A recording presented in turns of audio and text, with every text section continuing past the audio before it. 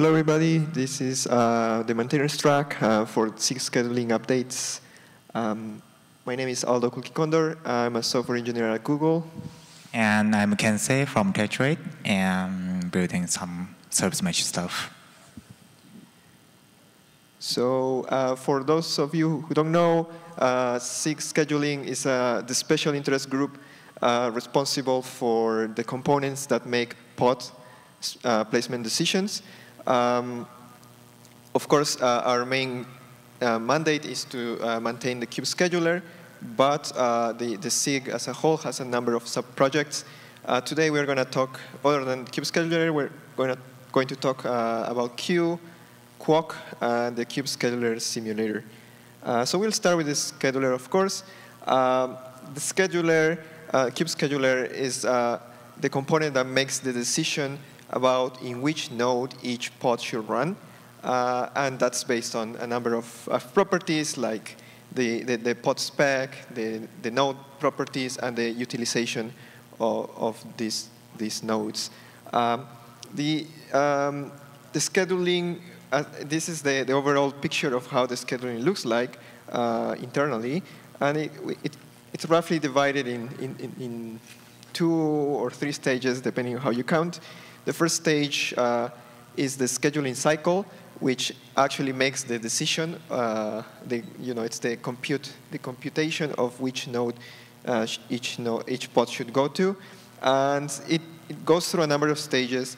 Uh, the, the, the, important ones here, the, the most important ones, let's say, uh, are, are, the filtering uh, and the scoring. Filtering, it's very simple to understand for each node, we calculate a yes or no answer, whether the pod can run or not in this node, uh, like depending on the node labels, the, the utilization, and so on.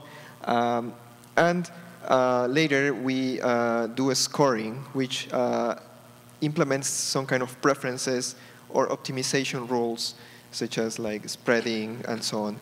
Um, so that's the scheduling cycle.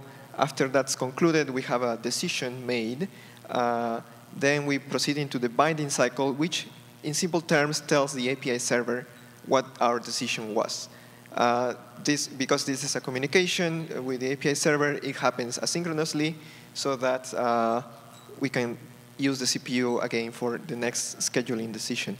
Um, more recently, we added uh, another stage, which we call PreEnqueue, uh, which allows us to um, which allows actually external components, external um, uh, operators in the Kubernetes system to uh, weigh in into, uh, into when to start the scheduling.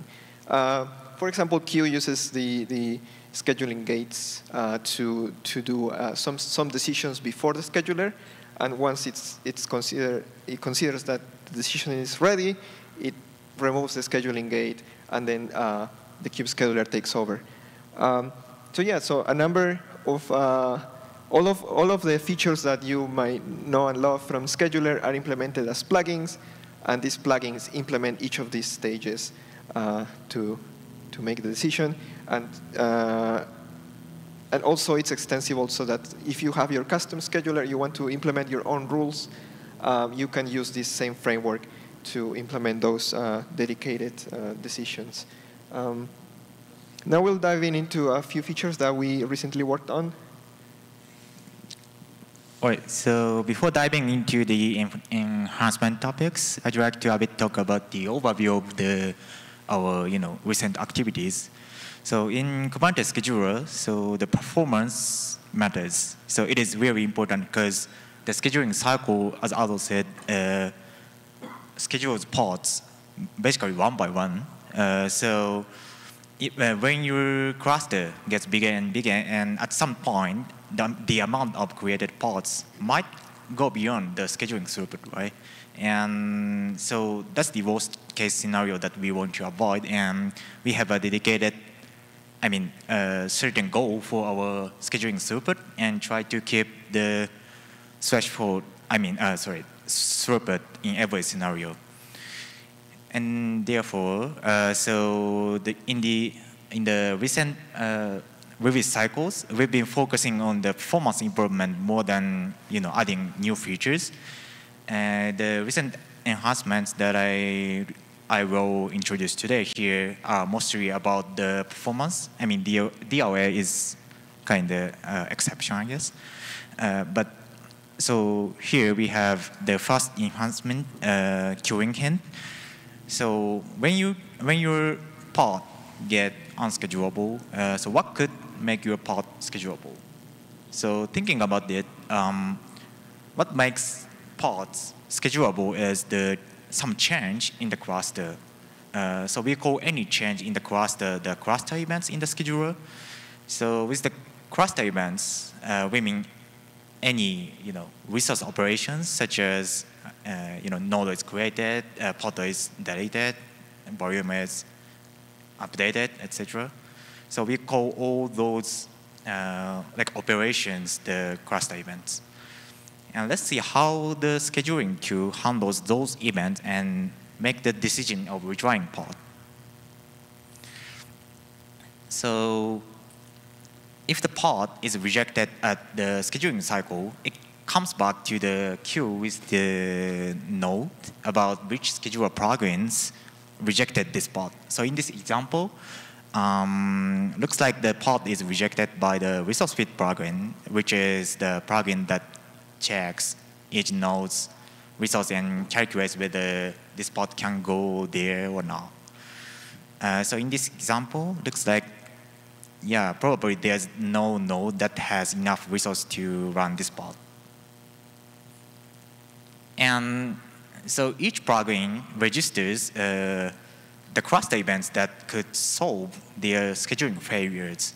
So in this example again, uh, the resource fit plugin uh, their failure could be solved by a new node is added, node is, uh, existing node is updated to have more you know, allocatable capability, or the any you know, running pod is deleted. So the resource fit plugin registers those events. And here, so when the scheduling queue observes node add event, for example, uh, which the plugin registers, uh, it requires the scheduling of the pod. So this is how um, originally the scheduling retry works. But thinking more about it, uh, not all, you know, not all node addition can make this pod schedulable, right? Because, uh, for example, what if this new node is super small and cannot run this pod? So here, the queuing hint comes in so queuing hint is the feature that allows scheduler plugins to filter out uh, cluster events so that queue, uh, the queue uh, can determine when to retry more um, wisely. So in this example, uh, the scheduling, uh, the resource fit plugin has a queue hint to check whether this new node is big enough for this pod's request. And if yes, then we try this pod, and if no, it's uh, the queue would ignore this event. So queuing hint helps in you know reducing the unnecessary scheduling bitwise, which allows us to increase the um, throughput overall. So here's the history of queuing hint feature. So yeah. Uh, so this feature was initially proposed by me and I remember by Patrick as well at, at the almost same timing. And uh, both of both of us proposed the yeah the similar feature uh, around enhancement of requeuing. And I wanted this feature for the scheduler in general, and he wanted this feature for the DRA. And so we implemented this feature, yes. And so along, uh, so at 1.28, uh, we implemented some, a few queue hints as, you know, experimental, experimentary. Uh, but the users uh, reported the memory leaks and we disabled the feature immediately. So that's what happened at 1.28. Yes and afterwards uh, we kept you know, working on implementing queuing hints in other plugins. And at 1.32, we finally finished uh, implementing all queuing hint in all in-tree plugins. Also, we identified and fixed the uh, memory mem memory leak issue, and also we put the effort uh, for the integration test and scheduling performance test coverage a lot. Yes, so at 1.32, this feature will be enabled by default again, and yeah, let's see. So the next one is the async preemption. So if your pods get unschedulable, uh, they may go through the preemption process before going back to the queue. So as you, as some of you may already know, uh, the preemption in the scheduler is the process is the process to allow uh, high priority pods to delete some lower priority pods so that it can go to the node uh, probably next time. So in this case, uh, this high priority pod wants to go to this node 1 by deleting some pods there. So the scheduler deletes those pods so that this pod likely uh, go to there in the next scheduling cycle. But the problem here is that um, when the preemption is triggered, the scheduling cycle takes time to complete uh, which impacts the whole throughput negatively because uh, the preemption has to make some API calls, right, uh, to delete some pods. And given the preemption happens within the scheduling cycle, the scheduler waits for you know all the API calls to complete and then finish the next scheduling cycle. So that's the problem we wanted to solve. And this enhancement uh, literally uh, tries to run these API calls asynchronously uh, to decouple them from the scheduling cycle. So when, uh, when the scheduler decides to delete some pods on node 1, it reserves the place for this uh, high priority pod on node 1. And the scheduler just starts the next um, scheduling cycle without waiting for the API calls to be done. So given we made a reservation for the pod, so the next scheduling cycles take uh, this ongoing preemption into consideration and you know don't basically don't steal the place on node one. Right. So here's uh, the notable updates in the scheduler. So we graduated some features uh, like uh, pod scheduling, readiness gates, graduated to GA, minDomains for um, pod topology spreading, graduated to GA, um, matchLabelKeys in pod affinity and anti-affinity graduated, graduated to beta. And also at 1.32, uh, DRA's structured parameters graduated to beta as well, and classic, classic DLA was removed. Um, we, we didn't go through the DRA in detail this time, uh, but uh, if you want to learn more, there is the working group serving presentation later today. Yes, uh, so if you want to learn more, please go to that session. Uh, well, now uh, I'm going to focus on Kueue, another uh, sub-project of SIG scheduling. Kueue is a component that can be added to Kubernetes that works with the kube scheduler and the cluster autoscaler to allow you to build a, full batch or training system. Uh, Kueue makes uh, the decisions of whether a job or a workload should wait or should run uh, based on a number of uh, characteristics. Uh, in Kueue, you can define per tenant quota, so you have multiple users. Each user can have a dedicated quota uh, for, for, for them, but also whenever your users are not using the resources, you might want to share.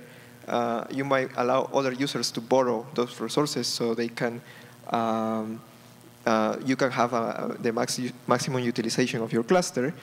And with that comes the need for preemption that is aware of these uh, uh quotas. Um, in version 0.7, uh, released a few months back, uh, we added fair sharing rules so that this, uh, whenever you, you're borrowing, uh, the borrowing happens uh, fairly based on some, uh, some weights. in version 0.9, which was released last week, we added hierarchical concepts to, to, to Kueue, so you can not just define users, but teams and teams of teams and so on. And you can uh, give um, uh, dedicated quotas to them as well. Uh, in 0.9, fair sharing and hierarchy are exclusive to each other, but in the in the in the future versions coming soon, we'll we'll have fair sharing uh, for the for the organization. Uh, Kueue doesn't necessarily work with pods as kube scheduler. Kueue makes decisions at a higher level, uh, so it will uh, decide either groups of pods or or different APIs such as the job API, job set. Uh, we also integrate with Kubeflow, with KubeRay. Uh, but if you have your own uh, mechanism, your own API, you can also use the library to integrate with Kueue. Uh, I'm not going to go through all the details of Kueue here because we had a presentation yesterday. So if you want to learn more, there is the link there. Um, but uh, I want to highlight two features. Well, fair sharing is the, the mm, one of the most important features we added. Uh, when you define a cluster queue, you have your quotas, but the, what is new is the fair sharing uh, weights. So in this case, we, uh, we have two users uh, sending jobs, and, uh, and one of the third user went on vacation, so um, um, there, she's not using all her quota, her assigned quota. So, but um, uh, we can see that uh, there are roughly uh, six slots left, and these users are sending a lot of jobs.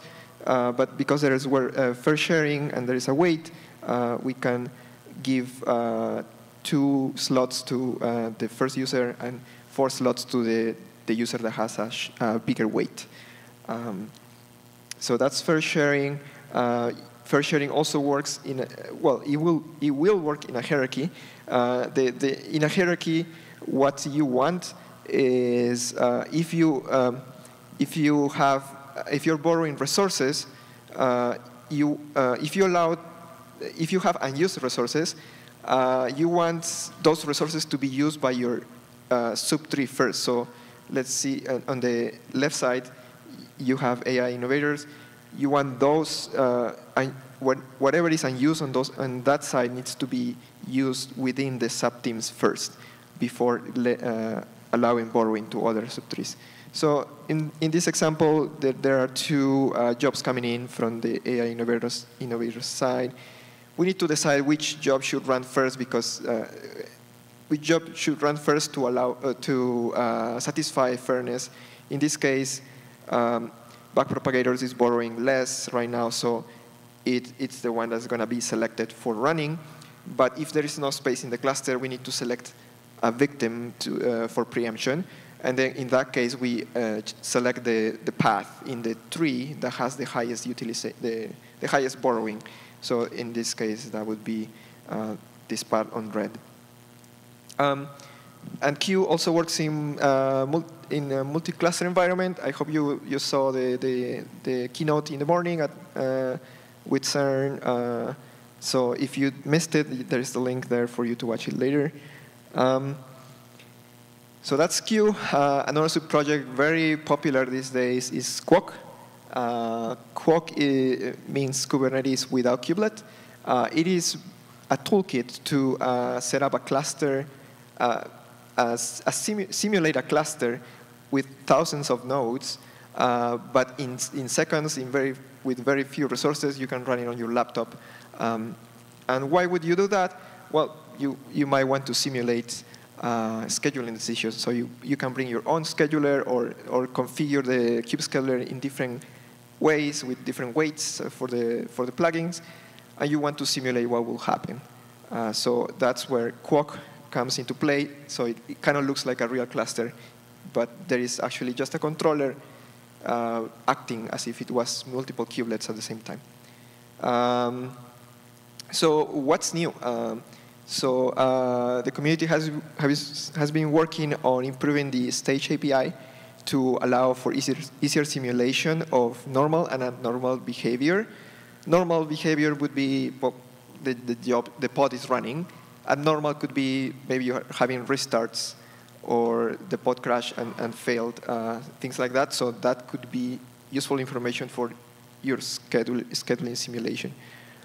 Um, also, they have been working on the uh, adding, improving the experience of simulating metrics from for CPU utilization, CPU memory utilization that can be also used for uh, your scheduling decisions.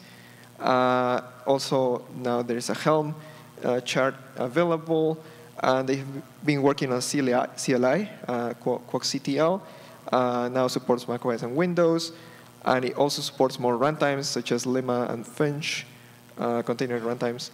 Uh, and they have a, number of features in the roadmap. Uh, they, they are getting ready to uh, graduate to Alpha 2, uh, and they are trying to use the, the enhanced experience of Kwok and uh, extend the simulation, uh, the, the, usage, uh, simula usage, usage metric simulations for GPUs and other custom metrics.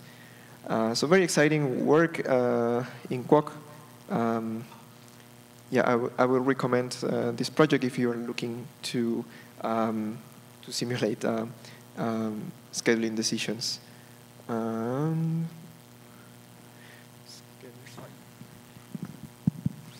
All right, so the next one is the simulator. So Kubernetes Scheduler Simulator literally offers the simulation of scheduling. So it offers the debuggability for your custom scheduler, well, not necessarily custom scheduler. So the scheduler is uh, composed of the plugins that, like uh, Aldo mentioned at the first, and the simulator visual, visualizes all the internal decisions from those uh, plugins for each pod scheduling. So it has a web UI like this, and you can, you know, create some resources on that, and it shows all the program decisions like this, maybe too small. Uh, so it shows like uh, this program returns something at future, and this program do something and whatnot. So regarding the simulator, we initially, uh, we initially uh, supported the simple, you know, web UI-based simulation only. Yes, so, but we've been, you know, improving it so that you can utilize it for more use cases. And, yep, uh, 0.2, we migrated the internal Kubernetes, Kubernetes API server uh, into Kwok and at 0.3, which is released and this summer, I think. Uh, so we introduced this uh, syncing feature to the to the simulator. Sorry. So testing a scheduler is hard because uh, there are so many parameters on each resource, and you know which that, that makes you know tons of scheduling scenarios, right? And it's difficult to cover all the scenarios within your integration test. And also the scheduler in your you know, uh, production environment is a lot busier than uh, your development clusters, and you often end up finding a bug only happening at the production cluster. So the syncing feature uh, keeps, this is the feature like uh, keeps importing the resources from your production cluster to to simulator so that you can simulate your uh, scheduling uh, at your production environment, but without breaking the production environment. So, yeah, so it allows you, like, for example, test a new version of your custom scheduler with the, cross, the your production cluster resources, but you know, before actually deploying it to production cluster. Yeah. So, and at 0.4, so we introduced the uh, standalone debuggable scheduler. Uh, this version is just released, I mean, the last weekend. So it gets, I mean, uh, the debuggable scheduler is the scheduler that was used internally in the simulator before, and it schedules pods like the normal scheduler, but it also outputs all the scheduling internal, you know, decisions from each plugin as pod annotations. So basically, the web UI that we saw just visualize the decisions that is written on pod annotations. That's how, you know, basically how the simulator works.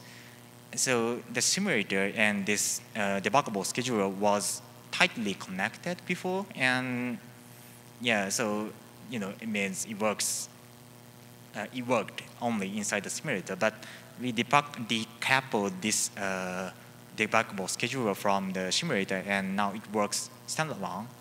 So for example, uh, you can use it in the development cluster uh, instead of the normal your scheduler, so that the debugging, you know, debugging the scheduler there would be easier. Yes. All right, so it's the end of the session. Thanks everyone. So we can hear your questions or any concerns, whatever. There are a couple of mics at the back. Yep.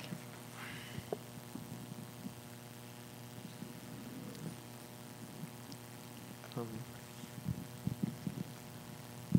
Hi, Thank you very much. I didn't see descheduler on the list of uh, subprojects. Is is that uh, because that project is more or less static? Is it because required during scheduling, uh, required during execution has finally been solved?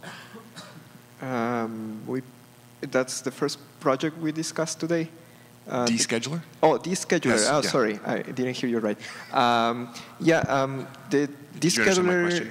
It's it's been pretty stable uh, for the past few years. Uh, uh, there hasn't been like major features. That's why we, we didn't highlight it. But it's still an active project, uh, actively maintained.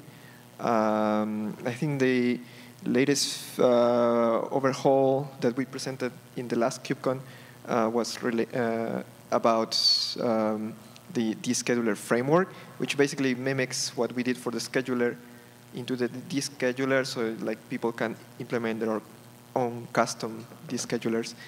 Um, yeah, that's I think the major highlight in the past, let's say, year. But other other than that, like there's been work uh, on um, you know like maintain, maintenance work. Um, I have, I have one question here. Um, I'm just wondering, are there any plans to add um, some kind of uh, a NUMA pod affinity or anti-affinity for pods the way that we have node level pod affinity? Um, it's being a topic. Uh, I think uh, right now probably the working group device management is is uh, kind of discussing the alternatives because the, now there's DRA which can potentially be used as a NUMA scheduler, but I think there are other ideas floating around. Uh, I, I think, yeah, I would recommend you to bring this question to the device management working group. Okay, thank you.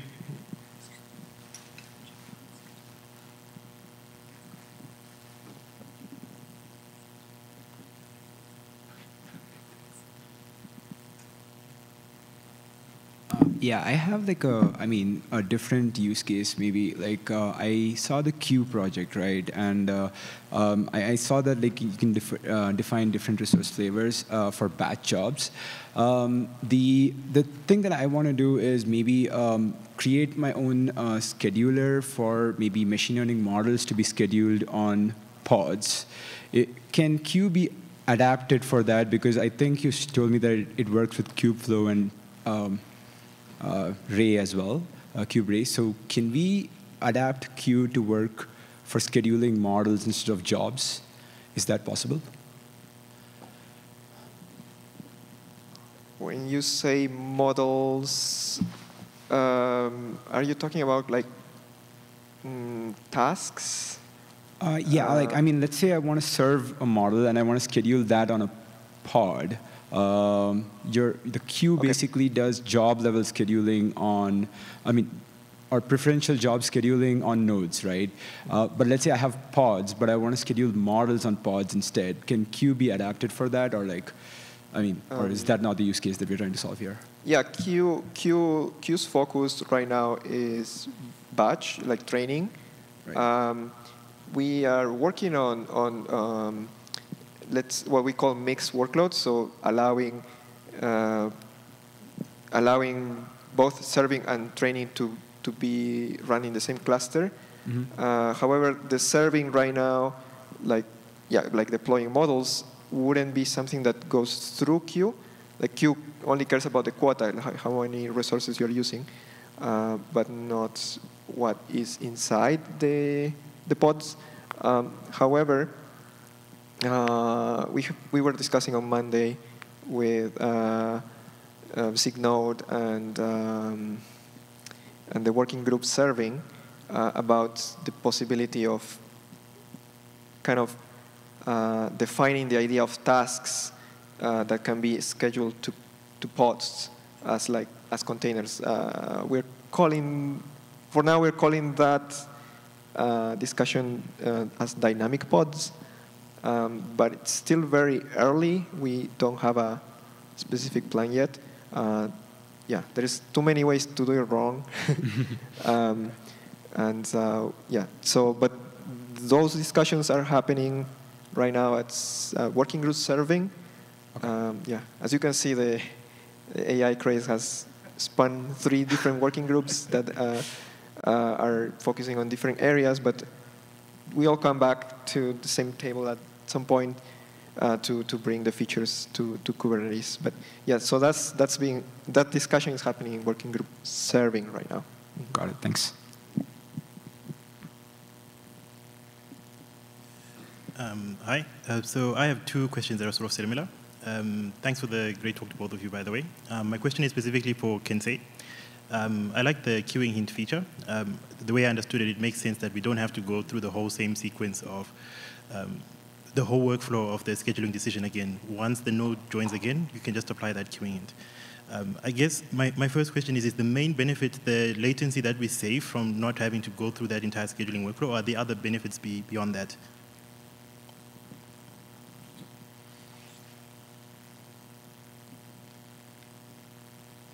Sorry, what was the question again? Um, so I have a specific question regarding the latency. Uh, but before I, I asked it, um, like when we're making a scheduling decision, you mentioned in the presentation that one of the benefits is the time we save in terms of making that decision, that you, you don't have to go through the entire scheduling workflow again. Is that's correct, right? Yes. Uh, uh, I was just asking out of curiosity, are there other benefits in, in that change? Um, I have a second follow-up question, but I'm just curious if that's the main, if that was the main benefit and motivation for the change, to, to have that latency improvement. I, I can give a try. So yeah. Okay. yeah. Yeah, maybe I can answer from some real work code uh, use case. For example, if you're running on EKS and you don't have the control on uh, controlling on what's the max back off or something of that. Mm -hmm. So one uh, issue you may see is that if you have different tier of priorities, the higher priority if you submit job of 1,000 part, and then you may hit a very classical scheduling problem called HOL, head of line blocking. And then that's because if you're running even on a uh, cluster autoscaling enabled cluster, then maybe a new node will, will treat, okay, all the high priority part which are unschedulable will get retried and retried again. That, so that your low priority has no ch fair chance to be scheduled mm. any, anymore. So that is uh, just blocking all your cluster's users. So that is instead of latency, this is a functional benefits that you can have, and we want to resolve this. So with the scheduling hint, then a new node, yes, it's auto-scaled, but it doesn't fit the high priority job. Then the high priority job will still be in the back off without being retried and retried, uh, churn the cluster again.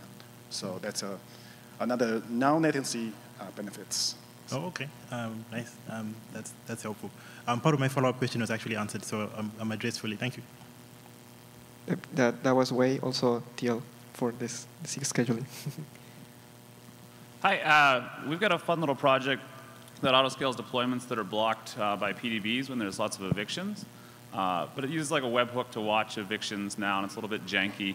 We kind of wanted to talk to SumSig about that, and we couldn't really figure out who owns evictions uh, and that sort of stuff. Is that scheduling or apps? That somebody point me this direction, but looking for kind of higher level guidance. Um, evic depends. um, for uh, priority priority evictions, which we call preemptions, that's SIG Scheduling.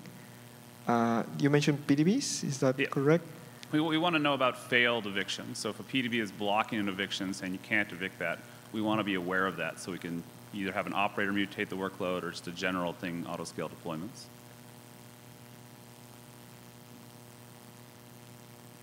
I think that's still us. yeah, there is some shared responsibility with SIG Apps, but No, What- not yet. So the pod's still running, the PDB is keeping it alive, but it's getting lots of evictions because we're trying to clear out a node or something like that. wait, Yep. wait, wait, microphone.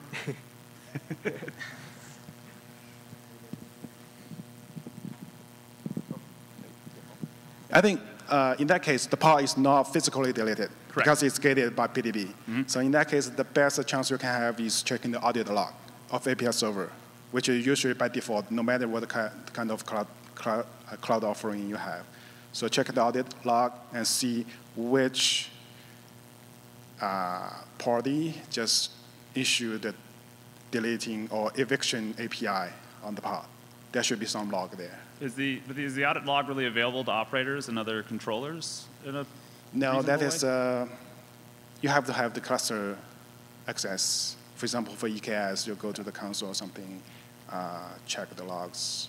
So if I wanted to make it more available to see failed Mm-hmm. evictions, like would that be a suggestion for apps for scheduling? Like I just don't know kind of which signal. I don't think there is a native integration, like exposing like nice API for the operator to call. Yeah. Maybe you can build some adapter to expose some, for specific for your purpose, Okay. as this kind of thing, right? And with that, we're out of time. Thank you. Thank you, everybody, for coming. Thanks.